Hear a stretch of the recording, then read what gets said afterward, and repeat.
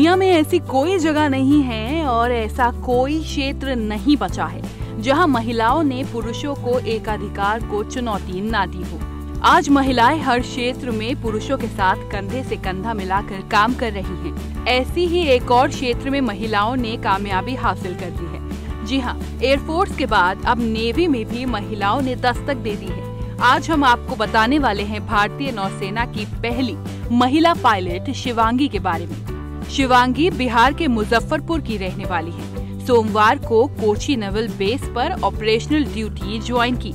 वो Donear surveillance aircraft उड़ाएँगी। इस plane को कम दूरी के समुद्री मिशन पर भेजा जाता है। शिवांगी इन विमान से भारतीय समुद्री इलाकों पर निगरानी रखेंगी। एयरफोर्स की फ़्लाइट लेफ्टिनेंट भावना कांत और नेवी की शिवांगी की तरह देश की दूसरी बेटियों को ये सीख लेनी चाहिए। कि वो भी महिला सशक्तिकरण को बढ़ावा दे सकती हैं, जिससे उन्हें दूसरों पर निर्भर न रहना पड़े। News desk.